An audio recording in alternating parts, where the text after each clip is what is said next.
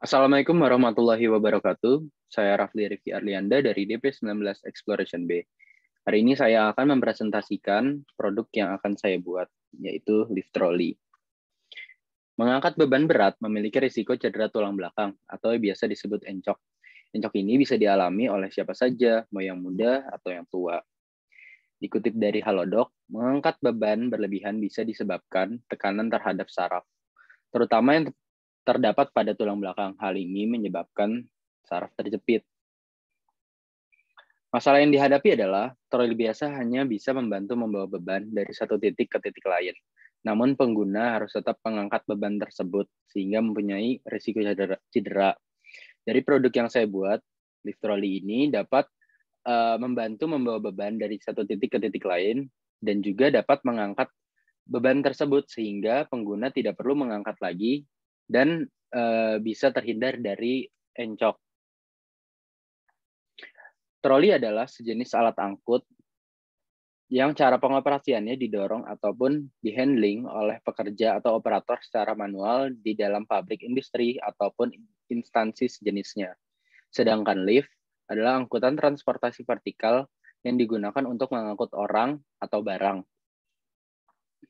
Tujuan saya menciptakan produk ini adalah dapat membantu menggun membantu pengguna dalam kegiatan mengangkut atau memindahkan barang dengan mudah dan aman.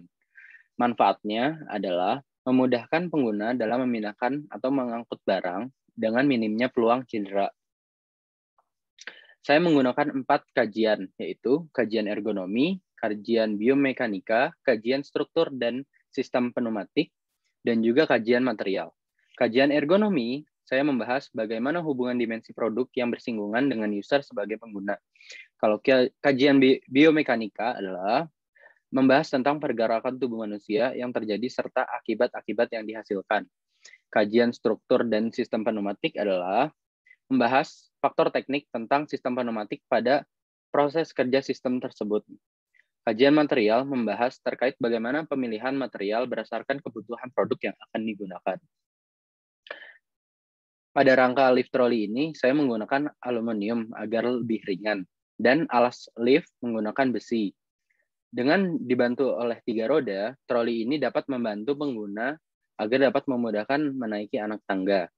Sistem otomatis naik turun ini dibantu oleh sistem pneumatik sehingga alat bisa naik turun secara otomatis.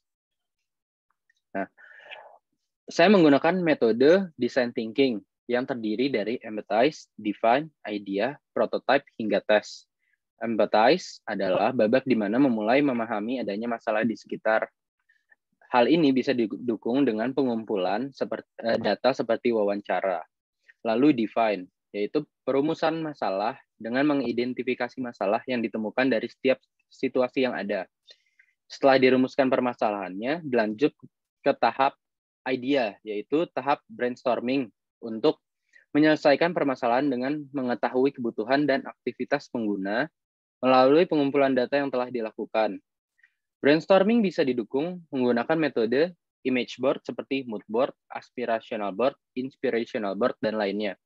Kemudian, mulai proses pembuatan beberapa alternatif desain yang akan dijadikan modeling 3D dan prototype. Setelah prototype jadi, maka akan dilakukan tes untuk menyesuaikan kembali hingga produk jadi. Sekian dari presentasi produk saya. Terima kasih.